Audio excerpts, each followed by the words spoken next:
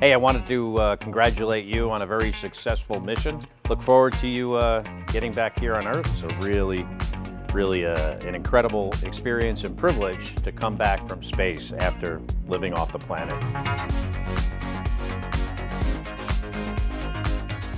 Strictly up to you, I guess. It's whatever you're craving. In my case, I, I craved uh, you know, fresh vegetables because we didn't have a whole lot of that uh, on board, as you know. You know, I would uh, encourage you to put everything in the right perspective and understand how important it is for you to get the right amount of rest and, uh, you know, balance all those things you want to do because you haven't been able to do them in so long. You know, one of the, the challenges of coming back to Earth after being in space for so long is that your whole time there you have this very tightly controlled schedule.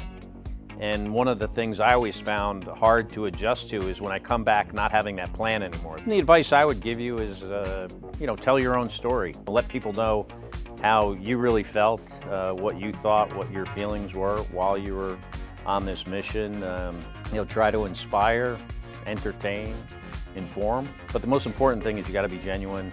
When you come back, it's uh, you know somewhat like a sensory overload a little bit. You know, experiencing weather for the first time, rain, sun on your face, wind. I mean, it's uh, exhilarating. I do remember though the first time I saw a dog like up close after I got back. It was almost like seeing an alien being is how I felt about it. It was really cool. So seek out a dog if you don't have one.